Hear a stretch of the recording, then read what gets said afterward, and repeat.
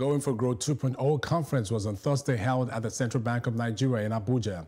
While deliberating on the way forward for Nigeria's economy, the CBN Governor Godwin Emefiele, Minister of Finance Zainab Ahmed and Aliko Dangote, among other dignitaries present, spoke on the impact of the sudden drop of crude oil price, its effect on the 2020 budget, including the impact of the global pandemic, COVID-19, on the country's economy. The impact of the coronavirus across over 100 countries has affected global supply chains as well as demand for goods and services. Commodity prices have also been affected as crude oil prices have plummeted by over 45% since January 2020. However, with the onset of the virus, global growth is now expected to decline in 2020. But the extent of the decline will depend on how the epidemic is contained over the coming months.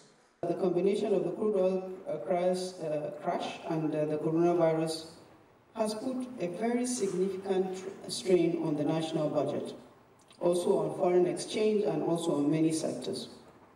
So we have been formed into a team, as, as um, said earlier by the CBN governor, by the president, to review what is the impact of the crisis on the national budget and also on various sectors of the economy and to provide recommendations on how we can raise the revenue from the non-oil sector, block leakages, pull back whatever uh, we have been doing that is not necessary.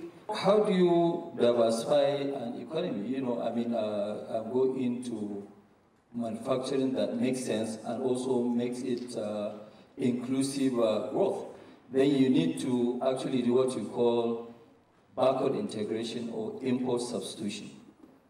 Our economy is great because we have a local market. We cannot have 200 million people growing at an average, I mean, uh, uh, population growth at about 2.7%, and then we're importing most of the things that we're consuming.